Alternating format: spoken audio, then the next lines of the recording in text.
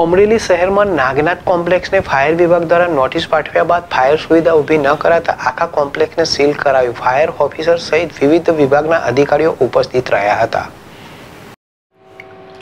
અમરેલી શહેરમાં commercial building Nagnath કોમ્પ્લેક્સની fire safety અંગે ગત તારીખ ત્રેવીસ બે બે હજાર ત્રેવીસના રોજ ફાયર વિભાગ દ્વારા ફાયર સેફટીની સુવિધા ઉપયોગ કરવા બાબતે નોટિસ પાઠવી હોવા છતાં આજ દિન સુધી નોટિસની અવગણના કરી ફાયર સુવિધા ઊભી ન કરતા ફાયર ટીમ ઘટના સ્થળે પહોંચી.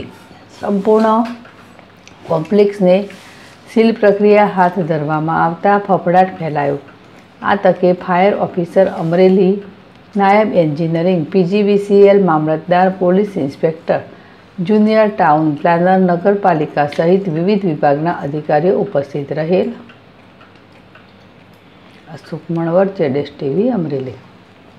અમરેલી શહેરની મધ્યમાં આવેલું નાગનાથ કોમ્પ્લેક્સ, કે જ્યાં ટ્યુશન ક્લાસીસ, બેંક તેમજ કોમર્શિયલ એક્ટિવિટીની ઘણી બધી ઓફિસો કાર્યરત હતી. આ કોમ્પ્લેક્સની અંદર પહેલાં ફાયર સેફ્ટીની સુવિધા ઊભી કરવા બાબતે નોટિસ આપવામાં આવેલી હતી, જેનું કોઈ પણ પ્રત્યુત્તર તેમજ ફાયર સેફ્ટીની સુવિધાઓ ન લગાડવાના કારણે આજરોજ આ બિલ્ડિંગ કોમ્પ્લેક્સને સીલ કરવામાં આવેલું છે. સાહેબ સીલિંગ ખોલવા માટે શું પ્રક્રિયા લોકોને કરવાની રહેશે? ફાયર સેફ્ટીની સુવિધા લગાવવા માટેની વ્યવસ્થા એ લોકો કરવા માટે એગ્રી થતા હોય. તેવા સંજોગોની અંદર જો એ લોકો કોઈ વ્યક્તિને કામ આપી અને ફાયર સેફ્ટીની સુવિધા ઊભી કરે છે તો આ સીલિંગ પ્રક્રિયાની અંદરથી તે લોકોને ટાઈમ પિરિયડની અંદર કામ કરવા માટે સીલ ખોલી આપવામાં આ આવશે સિવાય કોઈ બિલ્ડિંગમાં સીલિંગની આગળની પ્રક્રિયા ખરી?